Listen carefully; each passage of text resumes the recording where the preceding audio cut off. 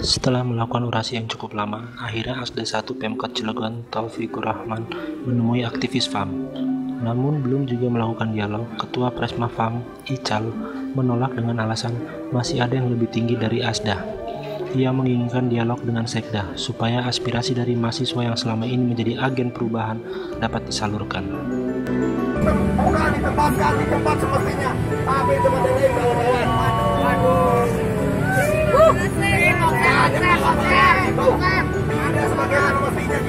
Mau maju?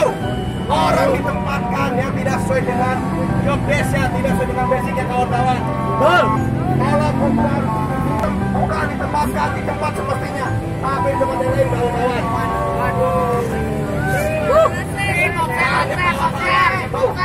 Ada sebagaimana mestinya gimana mereka mau maju?